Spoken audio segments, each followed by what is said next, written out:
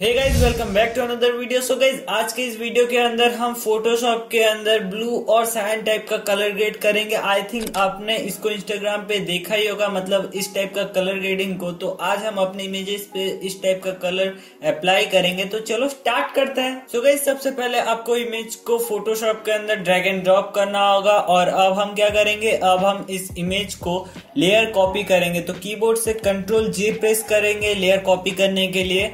और अब आपको जाना है इमेज में, यहाँ से मोड पे क्लिक करना और यहाँ से आरजीबी सिलेक्टेड होगा। आपको लैब कलर पे शिफ्ट करना है और यहाँ एक ऑप्शन पूछेगा फ्लैटन और डू नॉट फ्लैटन तो आपको डू नॉट फ्लैटन पे क्लिक करना है। अगर आप फ्लैटन पे क्लिक करते हो तो जो अपने लेयर कॉपी किया था, वो सारे लेयर मर्ज हो जाएँगे। तो आपको डू नॉट फ्लैटन पे क्लिक करना है। तो गाइज़ अब मैं जो स्टेप दिखाऊँगा, इसको आप थोड़ा सा ध्यान से देखना, नहीं तो ये थोड़ा कॉम्प्लिकेटेड है, आपको समझ नहीं आ सकता।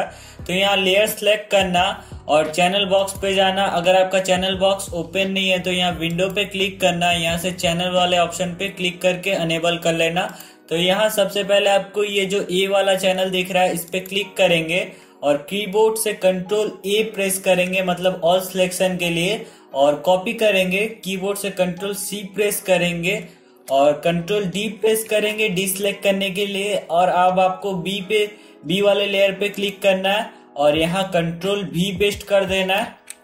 मतलब जो लेयर आपने कॉपी किया था उसको पेस्ट कर देना और आपको दोबारा कीबोर्ड से कंट्रोल डी प्रेस करना होगा। मतलब जो सिलेक्शन अनेबल हो गया उसको डी प्रेस करके डी सिलेक्ट कर दो। तो यहाँ कंट्रोल डी प्रेस करके मैं इसको डी सिलेक्ट कर देता हूँ।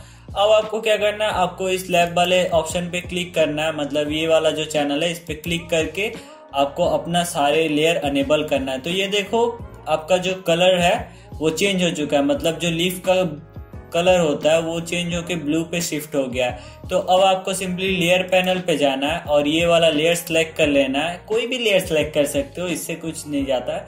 तो अब आपको जाना है इमेज में, यहाँ से मोड में दोबारा जाना है और यहाँ से आठ पे दोबारा शिफ्ट हो जाना है। और यहाँ आपको दोबारा ऑप्शन पूछेगा डू नॉट फ्लैटन और फ्लैटन तो आपको डू नॉट फ्लैटन पे क्लिक करना है। सो so गाइज़ अब आप चाहे तो कुछ एडजस्टमेंट कर सकते हो अपने इमेज पे। जैसे यहाँ एडजस्टमेंट लेयर पैनल पे आएँगे, यहाँ से हम लेवल पहले सिलेक्ट करेंगे और यहाँ थोड़ा सा लेवल ऐड करेंगे अपने इमेज पे। तो यहाँ मैं थोड़ा सा डार्क ऐड करता हूँ और यहाँ से थोड़ा सा हाईलाइट ऐड करता हूँ अपने इमेज पे। और अब हम दोबारा जाएँगे यहाँ पे और यहाँ से ब्राइटनेस एंड कॉन्ट्रास्ट पे क्लिक करेंगे और यहाँ से अपने इमेज में थोड़ा सा कॉन्ट्रास्ट ऐड करेंगे और यहाँ ब्राइटनेस को थोड़ा सा कम करेंगे।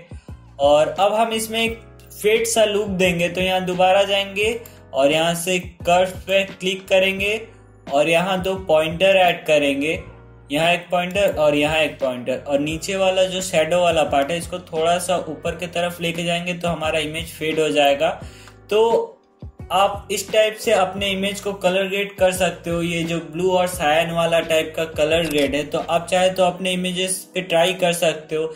मैंने इसका एक एक्शन क्रिएट करके रखा है तो मैं लिंक नीचे डिस्क्रिप्शन में दे दूँगा तो आप जाके वहाँ से डाउनलोड करके आपको कुछ नहीं करना होगा। आपको सिंपली एक्शन को सिस्टम में इंस्टॉल करना होगा और प्ले करके अपना कलर ग्रेडिंग को अप्लाई करना होगा।